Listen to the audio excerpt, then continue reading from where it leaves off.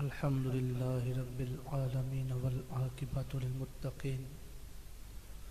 الصلاة والسلام على سيد الأنبياء والمرسلين وعلى آله وأصحابه وأهل بيته ومن ذرياته وعلماء أمته وأهل سنته وأحبابه أجمعين. أما بعد فأعوذ بالله من الشيطان الرجيم. بسم الله الرحمن الرحيم. قال الله تبارك وتعالى في القرآن المجيد والفرقان الحميد ولنبلونكم بشيء من الخوف والجوع ونقص من الأموال والأنفس والثمرات وبشر الصابرين. الذين إذا أصابتهم مصيبة قالوا إنا لله وإنا إليه راجعون. صدق الله العظيم. وقال الله تبارك وتعالى في القرآن المجيد في شان حبيب. إن الله وملائكته يصلون على النبي. يا أيها الذين آمنوا صلوا عليه وسلموا تسليما. اللهم صل على سيدنا ومولانا محمد وعلى آل سيدنا ومولانا محمد وبارك وسلم وصلي عليه. الصلاة والسلام عليك يا سيدي يا رسول الله. وعلى آلك وأصحابك يا سيدي يا حبيب الله. الصلاة والسلام عليك يا سيدي يا نبي الله. وعلى آلك وأصحابك يا سيدي يا نور الله. اللہ تبارک و تعالیٰ کی حمد و ثناء اور اس کے پیارے حبیب، آقا نامدار، مدنی تاجدار تاجدار عرب و عجم، فخر آدم و بنی آدم نور مجسم، شفیع معظم، انیس الغریبین، حضور رحمت للعالمین۔ آئینائے جمال کبریا، احمد مجتبہ امام الانبیاء، محبوب خدا، حضرت سیدنا محمد مصطفیٰ صلی اللہ تعالی علیہ وآلہ وسلم، کی ذات اقدس پر درود و سلام کا نذرانہ پیش کرنے کے بعد۔ دعا ہے کہ رب کائنات بندہ ناچیز کو حق گوئی کی توفیق عطا فرمائے۔ ہم سب کو دین اسلام سمجھنے اور سمجھ کر اس پر عمل کرنے کی توفیق عطا فرمائے۔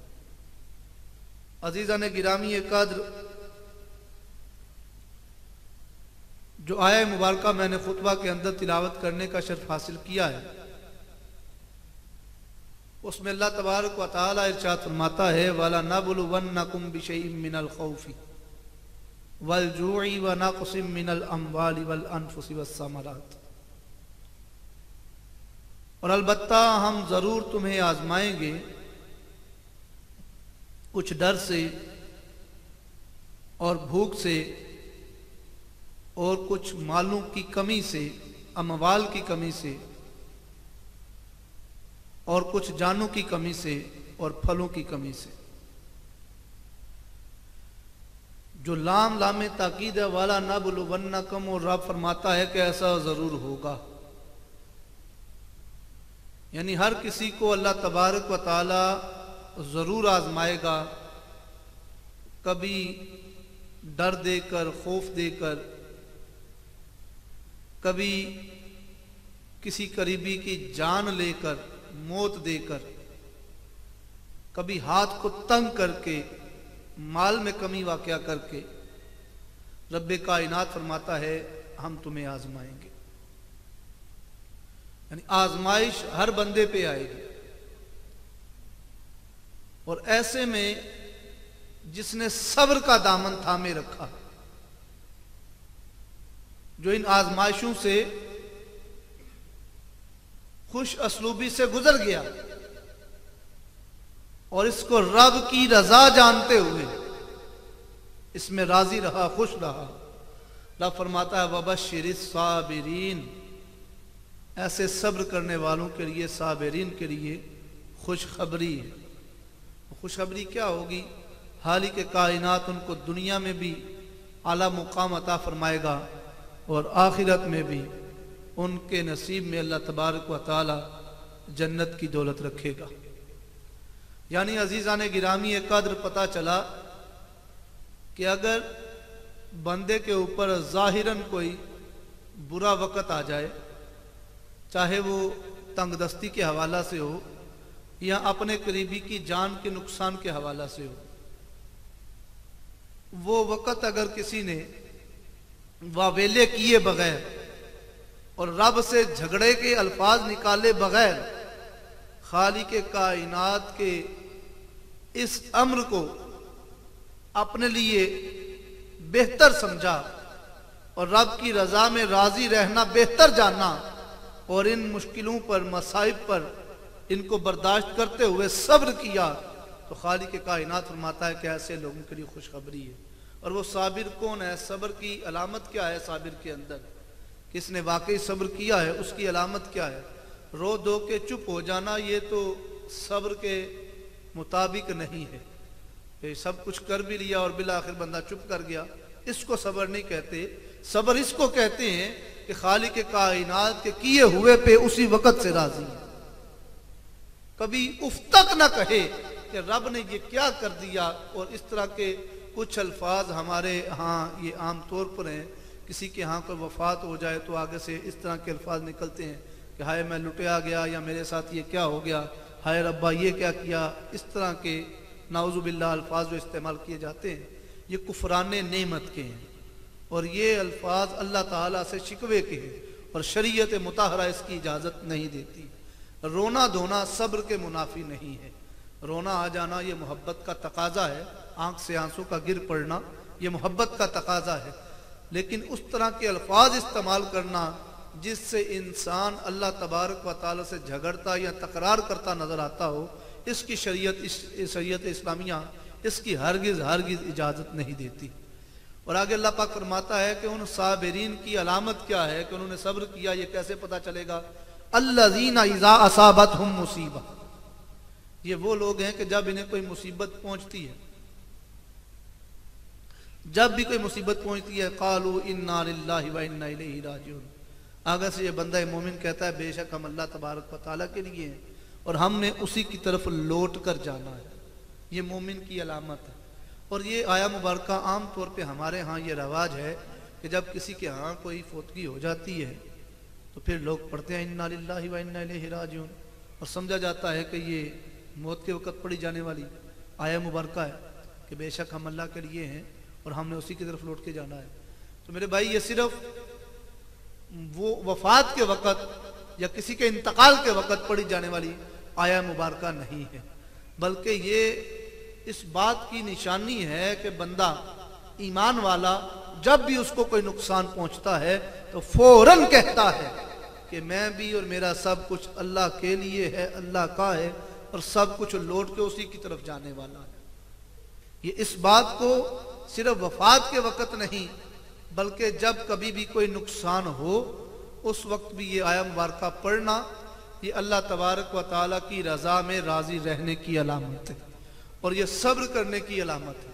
یہ اللہ پاک نے ایک قانون ہمیں بتلا دیا کہ اس طرح کرو گے تو یہ تم نے صبر کا مظاہرہ کیا، تم صابرین میں سے ہو گئے۔ اب رب فرماتا ہے کہ اگر تم نے ایسا کیا تو وبشر صابرین تو خوشخبری ہے صبر کرنے والوں کے لیے۔ تو خوشخبری کیا ہوگی؟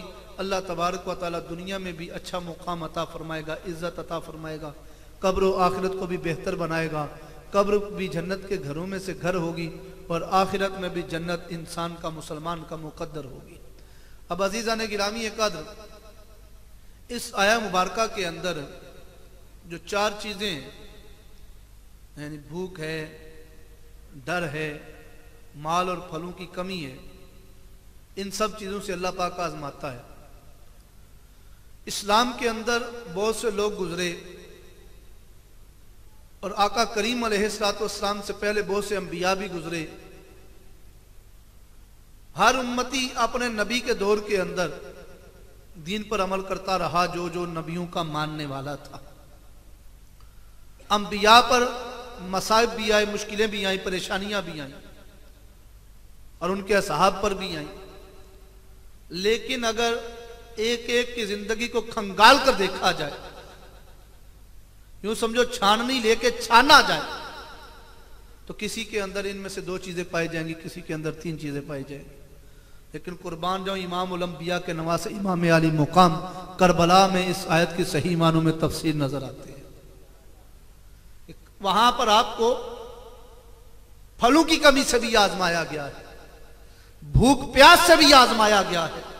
اور امام علی مقام امام حسین کو وہاں پر جانوں کی کمی سے بھی آزمایا گیا ہے۔ آپ کے شہزادوں کو آپ کی آنکھوں کے سامنے شہید کیا گیا۔ حتیٰ کہ آپ کی اپنی گردن کے اوپر بھی تلوار چلی۔ لیکن میرے امام نے، امام علی مقام امام حسین نے کسی موقع پر بھی رب کائنات کے آگے شکوا نہیں کیا، بلکہ جب بھی کہا، یہی کہا کہ یا الہی، جو تیری رضا وہ میری رضا۔ جو راضی با رضا رہا، اس کا نام حسین ابن علی ہے۔ تو اس پوری آیا مبارکہ کی مکمل تفسیر اگر نظر آتے ہیں، تو امام علی مقام امام حسین نظر آتے ہیں۔ تو عزیزان گرامی قدر۔ آج کا جو دور چل رہا ہے، اس دور کے اندر بھی ضرورت ہے۔ کیونکہ وقت کے یزیدوں نے اسلام کی شکل کو بہت زیادہ بگاڑ رکھا ہے۔ اسلام کے اندر بہت سی ایسی باتیں شامل کرنے کی کوشش کی جا رہی ہے جن کا اسلام سے دور دور کا واسطہ نہیں۔ اور ہمارے دین کو کھوکھلا کرنے کی خاطر نوجوان نسل کے اندر شریعت متحرہ سے ہٹ کر چیزیں ڈالنے کی کوشش کی جا رہی ہے، جس میں کافی حد تک معاونت میڈیا کر رہا ہے۔ جتنی بھی اشیاء زمانے کے اندر ہیں، وہ ہیں انسان کی بنائی ہوئی جو چیزیں ہیں۔ خصوصاً یہ میڈیا لے لو یا مواصلاتی نظام لے لو، یہ خصوصاً انسان کا تیار کردہ ہے۔ اللہ پاک نے انسان کو عقل شعور عطا فرمایا، انسان نے ترقی کی اور اس میں آگے بہت دور تک نکل گیا۔ اب اس کے استعمال کے طریقے دو ہیں، یا اچھا ہے یا برا ہے۔ تو کثرت کے ساتھ ہمارے جو نوجوان ہیں وہ اس کا استعمال غلط کر رہے ہیں۔ آج اگر کسی کے ذہن میں سوال پیدا ہو کہ وقت کے یزید تو بہت ہے لیکن حسین کوئی نہیں آ رہا۔ ہر دور میں یزید بھی رہا ہے۔ اور ہر دور میں امام حسین تو ایک ہی ہوئے لیکن ان کے کردار والا کوئی نہ کوئی رہا۔ جہاں پہ فرعون کو رب نے پیدا کیا تو موسا کلیم اللہ کو بھی پیدا فرمایا۔ ہر دور میں اچھائی اور برائی ساتھ رہی ہے۔ اور غلبہ ہمیشہ اچھائی کا ہوا ہے۔ لیکن آج کے اس پرفتن دور کے اندر یزیدی بڑے نظر آ رہے ہیں۔ حسینی کردار والا کوئی نظر نہیں آ رہا۔ یہ ذہن میں سوال ہے۔ تو اس کی وجہ کیا ہے؟ اس کی وجہ یہ ہے کہ اب زمانے کے اندر سیدہ فاطمت الزہرا کی سیرت والی عورت نظر نہیں آتی۔ جب ماں اس سیرت کو بھلا چکی ہے اور باپ باب مدینت العلم کے کردار کو بھلا چکا ہے۔ تو اولاد تو پھر اسی طرح کی فحاشی والی نظر آئے گی۔ جب والدین کا کردار ان کے کردار سے ہٹ چکا ہے اور آقا کریم علیہ السلام کی سنت سے بدل چکا ہے، سیرت طیبہ کو بھلا چکا ہے۔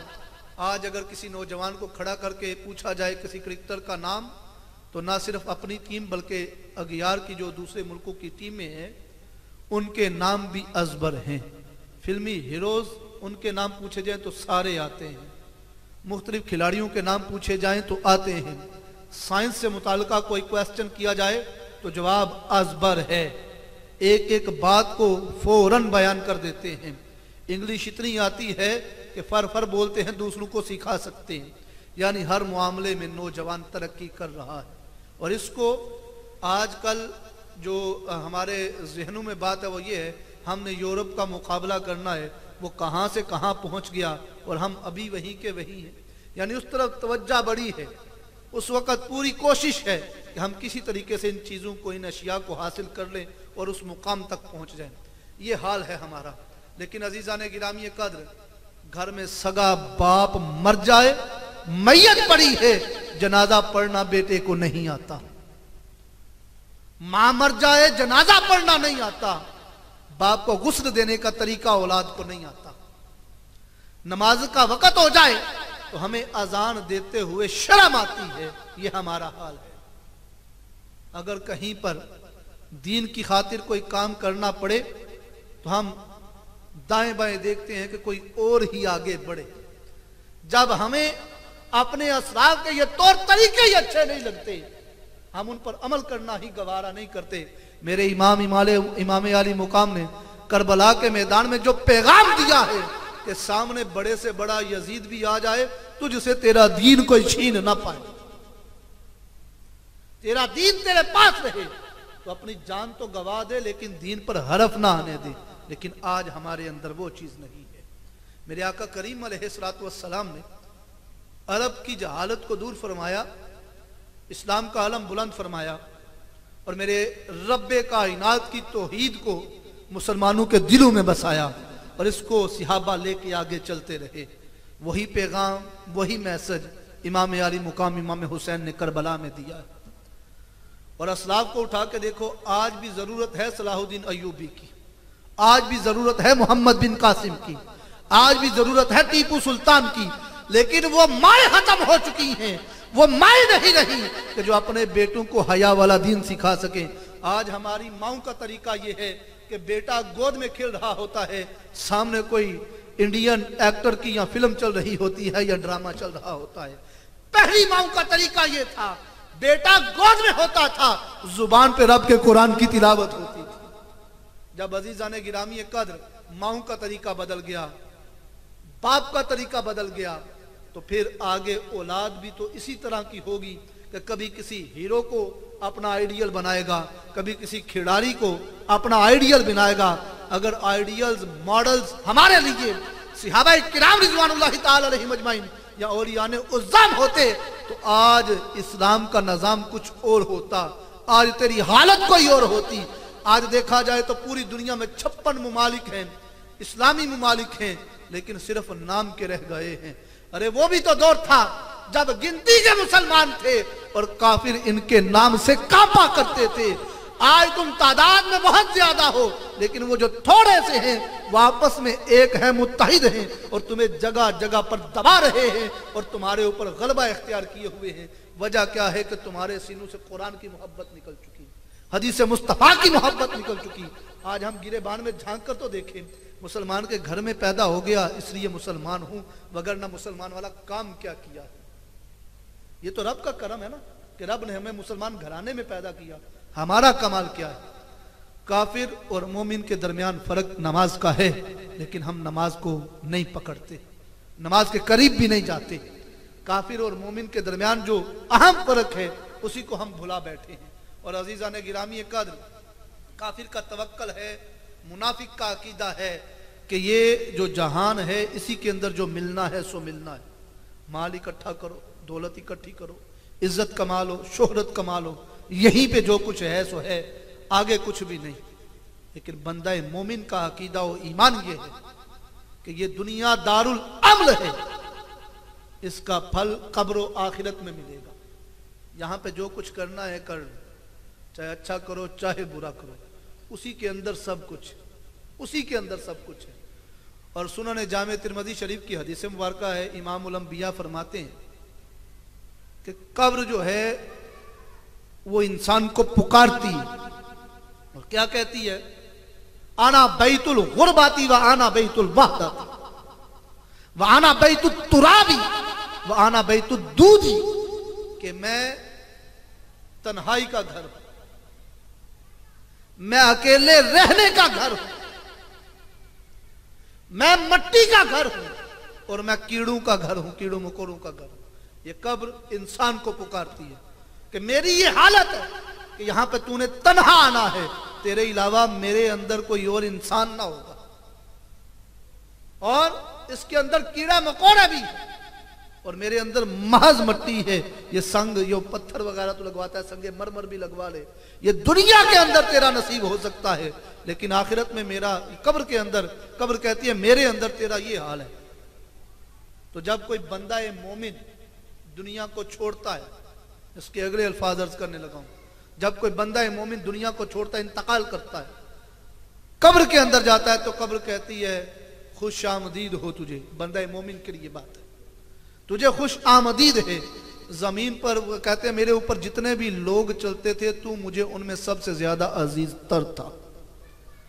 اب تو میرے اندر آیا ہے، میرا اپنے ساتھ حسن سلوک دیکھ۔ بندہ مومن کے ساتھ۔ پھر قبر تاحد نگاہ، کشادہ ہوتی۔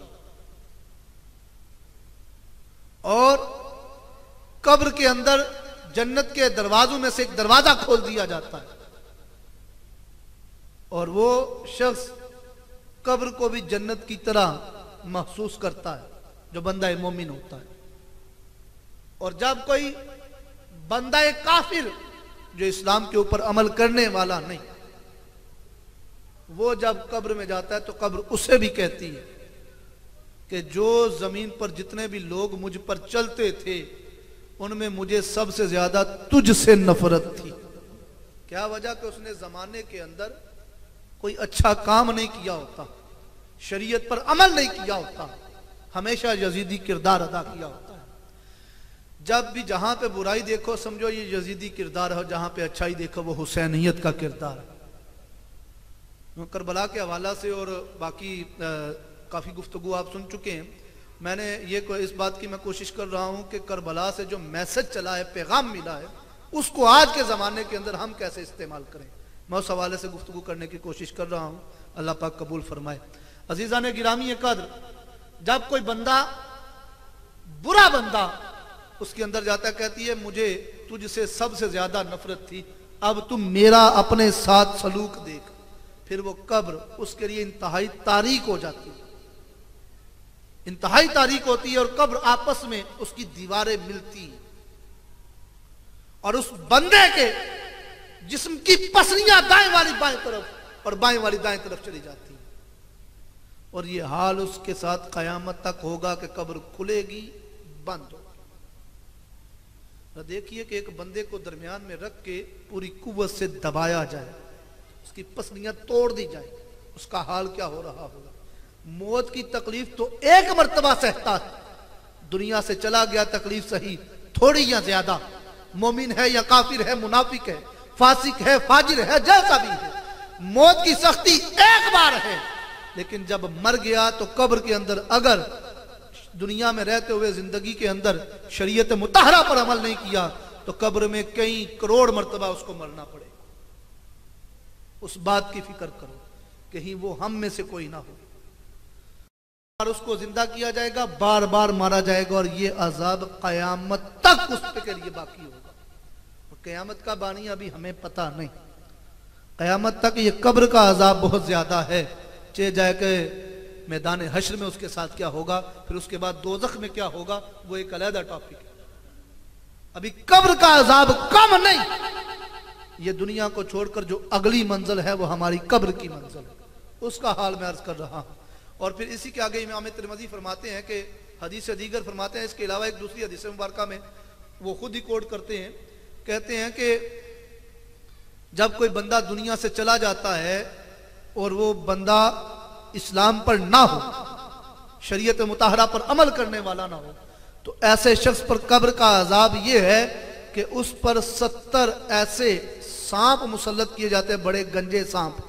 جن میں سے اگر ایک سانپ ستر سانپ مسلط کیے جاتے ہیں ازدہے اگر ان میں سے کوئی ایک زمین پر کسی جگہ پہ پھونک مار دے تو وہاں پہ کبھی بھی سبزہ نہ ہوگی۔ اس ایک کا یہ عالم ہے۔ ایک کا یہ عالم ہے۔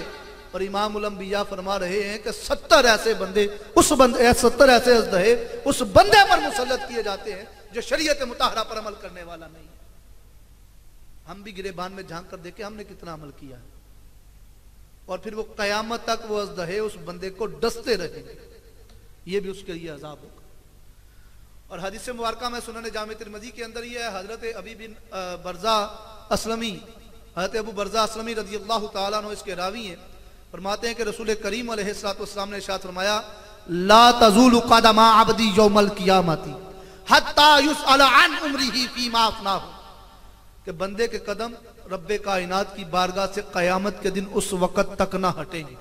پہلے اسی بات پر غور کرو کہ رب کے آگے ہم نے حاضر ہونا ہے۔ یہ مومن کا ایمان ہے کہ میں نے اللہ کے آگے حاضر ہونا ہے۔ منافق اس کو نہیں مانتا، کافر اس کو نہیں مانتا۔ اور جو مانتا ہو، اگر اس پر عمل نہ کرے، تو اس نے دل سے نہیں مانا۔ ہم مومن تب ہے جب اللہ اور اس کے رسول کی ہر بات کو تسلیم کریں۔ یہ ایمان کی شرط ہے کہ اللہ اور اس کے محبوب کی ہر بات کی اطاعت کرنا اور اس کو قبول کرنا کہ ایسا ہوگا اور پھر اس پر عمل کرنا۔ تو اب ہم نے گرے بان میں جھانک کر یہ دیکھنا اس کھڑے ہونے کی تیاری ہماری ہے۔ ہم میدان محشر میں، میرے امام امام علی مقام کی تیاری تھی، حضرت حر کی تیاری تھی، کربلا کے ہر جوان کی تیاری تھی۔ جبھی تو وہ اس دنیا کی زندگی کے اوپر، آخرت کی زندگی کو فوقیت دے کر کربلا میں شہید ہوئے تھے۔ کہ یزیدی ان کو دنیا کی زندگی بھی دے رہا تھے، دے رہے تھے۔ یزید کہتا تھا، دولت لے لو، سلطنت لے لو، مجھ کو مان لو۔ مجھ کو مان لو، گورنری اس نے دے دینی تھی۔ لیکن آپ نے ظاہری جاہو جلال کو نہیں دیکھا۔ آپ نے فقط آخرت کی زندگی پر توجہ رکھی اور امام الانبیاء کے فرمان کو جو دل سے قبول کیا، وہ اس انداز میں کیا کہ گردن جاتی ہے تو چلی جائے، جان دینا قبول ہے، لیکن یزید کے ہاتھ میں ہاتھ دینا قبول نہیں۔ کیوں؟ وہ شریعت کے خلاف ہے۔ تو آج ہم اپنے ظاہری فائدوں کی خاطر دنیا کے اندر سب کچھ کر لیتے ہیں اور شریعت کو پس پشت ڈال دیتے ہیں۔ یہ ہمارا کردار ہے۔ اس کے باوجود ہم کہتے ہیں، حسینیت زندہ باد۔ یہ نعرہ ہمارا ہے، لیکن کردار یزیدیوں والا ادا کیا جا رہا ہے۔ اکثر عوام ایسے کر رہی ہے رب کائنات کے پیارے حبیب فرماتے ہیں کہ کسی مسلمان کے، کسی انسان کے قدم، کسی انسان کے قدم رب کی بارگاہ سے اس وقت تک نہیں ہٹیں گے، جب تک کہ اس سے سوال نہیں کر لیا جائے گا۔ کس بات کے حوالہ سے؟ ان عمری ہی فی ما افنا تو اسے جب تک یہ نہ پوچھ لیا جائے، تو نے اپنی زندگی کو کن کاموں میں صرف کیا؟ کن کاموں میں بسر کیا ہے؟ اب زندگی انسان کے پیدا ہونے سے لے کے فوت ہونے تک جتنی رب نے ہمیں سانسیں ادا کی ہیں، رب کائنات نے جتنی ہم نے نعمتوں سے نوازا ہے، اتنی بے شمار نعمتیں، ہاتھ بھی نعمت ہے، پاؤں بھی نعمت ہے، زبان بھی نعمت ہے، کان، آنکھ، یہ جسم کا ایک ایک عضو رب کی دی ہوئی نعمت ہے۔ رب کی جتنی زندگی رب کائنات نے ہمیں عطا فرمائی، پچاس سال ہے، ساٹھ سال ہے، تیس ہے، بیس ہے، پندرہ ہے، جتنی بھی ہے، جتنی زندگی بھی عطا کی ہے۔ اس کی ایک ایک سانس رب کی دین اور میرے آقا کریم کے تو فیل ہے۔ تو رب کے اور اس کے محبوب کی خاطر ہم نے ان سانسوں میں کیا کیا؟ ہمارا کردار کیا رہا ہے؟ فقط نعرے لگانا یہ ایمان کی نشانی نہیں، یہ دعویٰ ہے۔ یہ نعرہ لگانا کہ غلامی رسول میں موت بھی قبول ہے، یہ دعویٰ ہے۔ حسینی زندہ باد، یہ دعویٰ ہے۔ اب اس پر دلیل کیا ہوگی؟ کہ جب غلامی رسول میں موت بھی قبول ہے، تو مجھے غلامی رسول میں نماز پنجگانا بھی قبول ہے۔ یہ دلیل ہوگی۔ نماز پڑھوں گا تو مانوں گا، اقرار کروں گا کہ ہاں میں حضور کا غلام ہوں۔ میرے حضور نے فرمایا ہے، میرے آقا نے فرمایا کہ نماز میری آنکھوں کی ٹھنڈک ہے، میں حضور کی آنکھوں کو ٹھنڈک پہنچا رہا ہوں۔ جب میں نماز نہیں پڑھتا تو میرا دعویٰ باطل ہو جاتا ہے۔ اسی طرح رمضان المبارک کے روزے جو نہیں رکھتا تندرست و توانا ہونے کے باوجود، استطاعت رکھنے کے باوجود جو رمضان المبارک کے روزے نہیں رکھتا، اس کا یہ دعویٰ غلط ہے کہ غلامی رسول میں موت بھی قبول ہے۔ بھوکا پیاسا رہنا تو تو قبول نہیں کرتا، موت کیسے قبول ہے تجھے؟ اور اگر صاحب استطاعت ہے، رقم بھی ہے، صحت بھی ہے، اور حج کو نہیں جاتا، تب بھی تیرا دعویٰ باطل ہے۔ اور اسی طرح اگر صاحب نصاب ہے اور زکوٰۃ کی ادائیگی نہیں کرتا، تب بھی تیرا دعویٰ باطل ہے۔ غلام کا کیا کام؟ کہ آقا کا فرمان ہو اور اس کے خلاف جائے۔ وہ کیسا نوکر ہے؟ جو آقا کے آگے سر اٹھاتا پھرے۔ غلام تو وہ ہوتا ہے جو سر جھکا کے مان لے۔ جب آقا نے کہا ہے تو کرنا ہے۔ جب رب نے فرما دیا کہ نماز پنجگانہ فرض ہے، تو ہم نے ادا کرنی ہم نے پڑھنی اس کو چھوڑنا نہیں۔ لا تزول قدم عبدی یوم القیامتی حتی یسأل عن عمره فیما افناہ وعن علم ہی فیما فعلا اور تجھ سے تیرے علم کے بارے میں پوچھا جائے گا کہ تو نے اس پر عمل کتنا کیا؟ یہاں پر صرف علماء ربانیین کی بات نہیں ہے۔ ہر شخص کے بارے میں حضور فرما رہے ہیں، ہر شخص سے پوچھا جائے گا کہ تجھے جتنا علم دیا تو نے اس پر عمل کیا کہ نہیں؟ بات پھر وہی ہے۔ اتنا علم تو آپ کو ہے۔ کہ حلال کیا ہے، حرام کیا ہے؟ جائز کیا ہے، ناجائز کیا ہے؟ شریعت کس کی اجازت دیتی ہے، کس کی نہیں دیتی؟ یزیدیت مرد آباد کا نعرہ بھی لگایا اور شرابیں بھی پی۔ یزیدیت مرد آباد بھی کہا اور زنا بھی کیا۔ یزیدیت مرد آباد بھی کہا اور تو نے دوسروں کے مال پہ ڈاکہ بھی ڈالا۔ تو اسلام کا علم بردار بنتا نظر آئے اور اسلام کے اندر مظلوموں کے اوپر ظلم کرنے کی اجازت شریعت ہرگز ہرگز نہیں دیتی، لیکن تو کرتا نظر آئے، پھر بھی کہے کہ میں مسلمان تو یہ تو یزیدی کردار ہو سکتا ہے، حسینی کردار نہیں۔ عزیزان گرامی قد جتنا علم ہے، اس پر عمل کے بارے میں قیامت کے دن پوچھا جائے گا۔ وعن مالی ہی وقت مختصر ہے، اس لیے میں چیدہ چیدہ باتیں صرف اشارات کے انداز میں کر رہا ہوں۔ آپ ماشاءاللہ سارے باشعور ہیں۔ آپ خود اندازہ فرما سکتے ہیں کہ جب ان چیزوں کے بارے میں مجھ سے رب پوچھے گا، یہ صرف مجھ سے نہیں، آپ سب سے بھی پوچھے گا۔ جب بھی جہاں پر بھی کوئی بات ہو رہی ہو، تو اس بات کو اس انداز میں سمجھیں کہ یہ بات خاص میرے لیے ہے۔ اگر یہ فکر آپ کی نہیں، تو اپنے ایمان کی فکر کریں، کیونکہ بات ہو رہی ہے اللہ اور اس کے حبیب کے فرمان کی۔ جب اللہ اور اس کا محبوب کوئی فرمان جاری کریں، قرآن و حدیث میں ملتا نظر آئے اور بندہ صرف سن کے ان سنی کر دے کہ ہمارے لیے نہیں، اوروں کے لیے ہے، تو تجھے معبود بھی کوئی اور تلاش کرنا پڑے گا۔ اور ایسا تو بندہ مومن کی غیرت گوارا نہیں کرتی کہ ایک رب کے علاوہ کسی اور کے بارے میں سوچے بھی۔ اور انبیاء اور رسول سب کا ادب و احترام ہے، لیکن کوئی عاشق رسول یہ بھی گوارا نہیں کرے گا کہ رسول پاک کے بعد کسی اور نبی یا رسول کا خیال بھی سوچے۔ تو جب دین مکمل ہو چکا اور جب یہ آیا مبارکہ ہوتا ہے الیوم اکملت لکم دینکم اس وقت ایک یہودی حضرت عمر فاروق کی بارگاہ میں حاضر ہوا۔ کہتے ہیں، کاش یہ آیت ہم پر نازل ہوتی۔ تو ہم اس کو جشن مناتے، اس کا جشن کرتے۔ ایک آیت پہ کہہ رہا ہے، پورے قرآن کی بات نہیں۔ پورے قرآن میں سے ایک آیت الیوم اکملت لکم دینکم کہتا اگر یہ آیت ہمارے عیسیٰ روح اللہ پہ اترتی ہمیں ملتی تو ہم اس کی جگہ پر جشن مناتے، اگر ہمارے نبی کو ملتی، تو ہم حضرت موسیٰ کو ملتی، تو ہم اس کے اس آیت کے اترنے کے دن کو جشن کی طرح مناتے اور قیامت تک مناتے رہتے۔ اس کی وجہ سمجھو کیا ہے؟ اس کی وجہ یہ ہے، جس نبی کو بھی یہ آیا مبارکہ نازل ہوتی، آج تمہارا دین مکمل ہو گیا، آج کے بعد دین کی نئی بات بھی کوئی نہیں، نیا نبی بھی کوئی۔ جس نبی پر اترتی وہ خاتم النبیین ہوتا۔ وہ محبوب خدا ہوتا، اس کی خاطر پوری کائنات کو سجایا جاتا، اور وہ کوئی اور نہیں تیرے میرے پیارے آقا امام الانبیاء ہے یہ یہودی بھی جانتا ہے کہ جس کی شان یہ ہے کہ اس کا مقام یہ ہے جس کے بارے میں یہ آیا مبارکہ نازل ہو رہی ہے، اس کا مقام یہ ہے کہ اس کے بعد نبی کوئی نہیں۔ لیکن آج کا کوئی نام لیوا نبی کا بھی ہو، اور پہلے اس کے دین میں خود کو ظاہر کرے، پھر کبھی نبی بنتا نظر آئے۔ کبھی صحابی بنتا نظر آئے، کبھی موسیٰ بنتا نظر آئے، کبھی یعقوب بنتا نظر آئے، کبھی مریم بنتا نظر آئے، کبھی محمد عربی بنتا نظر آئے، اس لیے ان پر لانتے نہ کریں تو اور کیا کریں؟ تو عزیزان گرامی قدر، آقا کریم نے فرمایا کہ اللہ تبارک و تعالیٰ تم سے تمہارے علم کے بارے میں پوچھے گا جبکہ تمہیں کتنا علم ملا، جتنا ملا اس پر عمل کتنا کیا؟ اگلا سوال ہوگا، وَعَن مَالِهِ مِنْ أَيْنَكْ تَسَبَهُ وَفِيمَ أَنفَقَهُ کہ تو نے مال کہاں سے کمایا اور کہاں پہ خرچ کیا۔ آج لوگ اس بات کی توجہ کرتے ہیں کہ یہ جو ہمارے پڑوسی کے پاس گاڑی آئی ہے، یہ کہاں سے آئی ہے؟ اس نے مکان نیا بنا لیا، کہاں سے بنا لیا؟ اس کے گھر میں اتنا پھل فروٹ آتا ہے، کہاں سے آتا ہے؟ دوسروں کی فکر ہے، ادھر ٹو ہے، نگاہ ہے، اس کو اتنا کہاں سے ملا؟ کبھی گرے بان میں جھانک کر یہ بھی تو دیکھ، میں نے جو کمایا وہ حلال کا ہے یا حرام کا ہے۔ اس کی بجائے اپنی فکر کر۔ تو قیامت کے دن تجھ سے یہ نہیں پوچھا جائے گا اس نے زیادہ کھایا، تو نے کم کھایا؟ نہیں۔ پوچھا یہ جائے گا، تجھے اتنا ملا تو نے پڑوسی کی مدد کی کہ نہیں کی؟ تو اسے یہ نہیں پوچھا جائے گا، وہ مالدار تھا، کہاں سے ہوا؟ پوچھا یہ جائے گا، تجھے جو دیا، اختیار بھی دیا، مال بھی دیا، تو نے اس کو استعمال کیسے کیا اور کمایا کہاں سے؟ حلال کی کمائی ہو اور حلال کی جگہ پہ لگائی ہوگی، تب بخشش ہوگی، مختصر بات اتنی ہے۔ قیامت کے دن ایک ایک چیز کے بارے میں پوچھا جائے گا۔ اور جب اس کے بارے میں بھی سوال کر لیا جائے گا، اگلا سوال ہوگا، وہ ان جسمی فیما بلا ہو یہ جو تجھے تیرے رب نے جسم عطا فرمایا، او کما قال رسول اللہ صلی اللہ علیہ وسلم، یہ جو تیرے رب نے تجھے جسم عطا کیا ہے، اس کو تو نے کن کاموں میں لگا کے رکھا؟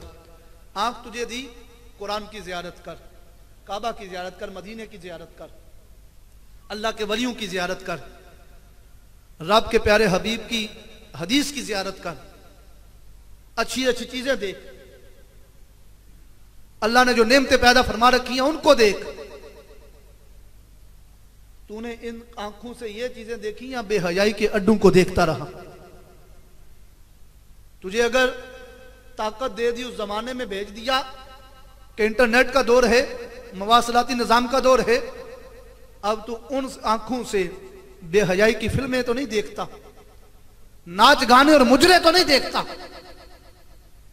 اگر تیری آنکھ ان کاموں میں لگی ہے، تو قیامت کے دن ان آنکھوں میں سیسا پگلا کے لاڑا جائے گا۔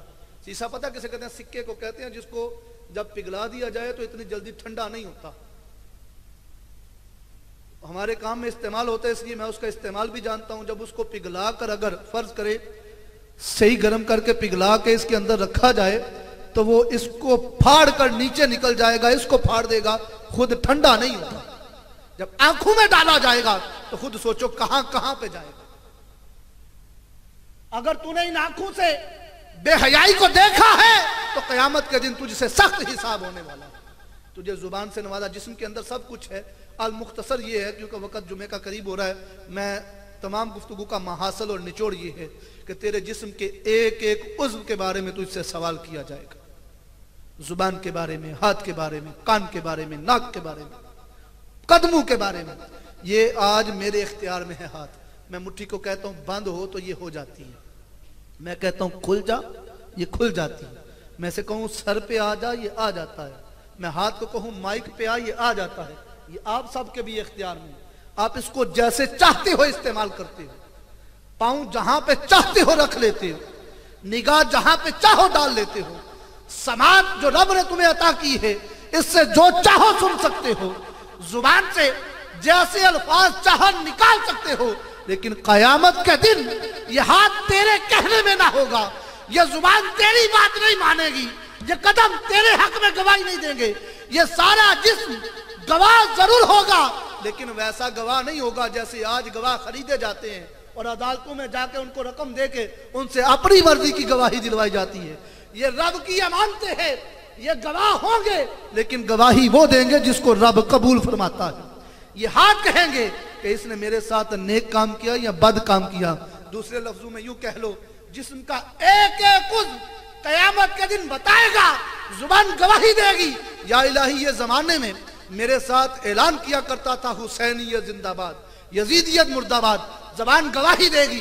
یا الہی، یہ کہا کرتا تھا، غلامی رسول میں موت بھی قبول ہے اب باقی جسم گواہی دیں گے، اس نے ان کے ساتھ اس پر عمل بھی کیا ہے یا نہیں کیا؟ ہاتھ سے غریب کی مدد کی یا مظلوم کو اور زیادہ نقصان پہنچایا؟ یہ کان گواہی دے گا، ان کے ساتھ یہ تیرے قرآن کی تلاوت سنتا تھا یا گانے باجے سنتا تھا؟ آنکھ گواہی دے گی، یہ ہمارے ساتھ قرآن کی تلاوت کو دیکھتا تھا، قرآن کو دیکھتا تھا یا اس کے ساتھ بے حیائی کو دیکھتا تھا؟ قدم گواہی دیں گے، یہ ہمارے ساتھ چل کے نیکی کی محفلوں پہ جاتا تھا، مساجد میں جاتا تھا، یا یہ مجرا گاہوں میں جایا کرتا تھا، ناچ گانوں کے اڈوں پہ جایا کرتا تھا۔ تو یہ جسم آج جو تیرا میرا غلام ہے، یہ جسم جو آج تیرا میرا تابع ہے، قیامت کے دن تیرے میرے خلاف بڑی سخت گواہی دینے والا ہے۔ تو اس کو اس طرح استعمال کرو جیسے رب کائنات چاہتا ہے۔ عزیزان گرامی کر یہ سب کچھ اللہ کی امانت ہے اور اللہ نے اسے واپس بھی لے لینا ہے۔ امام علی مقام سے بھی ایک ایک کر کے بہتر تن واپس دیے گئے ہیں۔ امام علی مقام نے ہر ہر موقع پہ یہی کہا، انا للہ و انا الیہ راجعون۔ مولا، جو تیری رضا وہ میری رضا۔ جب ہمارے ساتھ بھی کوئی نقصان کا واقعہ ہو جائے، کوئی کمی کا واقعہ ہو جائے کسی قسم کی پریشانی آ جائے، دکھ آ جائے، تکلیف آ جائے، تو اپنے امام کے اس کردار کو اپنی نگاہ میں رکھو اور کہو کہ انا للہ و انا الیہ راجعون۔ اور جب یہ پڑھ لیا تو ساتھ یہ عقیدہ و یقین بھی ہونا چاہیے کہ اب میں نے واویلا نہیں کرنا، میں نے اپنے رخساروں کو نہیں پیٹنا۔ جب رب کی رضا میں راضی ہے تو اپنے جسم کو نقصان کس لیے پہنچا رہا ہے؟ خالق کائنات کی بارگاہ میں التجا ہے، جو کچھ عرض کیا منظور و قبول فرمائے۔ اگر کا مکڑی کا ملمی کی بنا پر کوئی غلطی کوتاہی ہوئی ہو، رب کائنات معاف فرمائے واخر دعوی یعنی الحمدللہ رب العالمین۔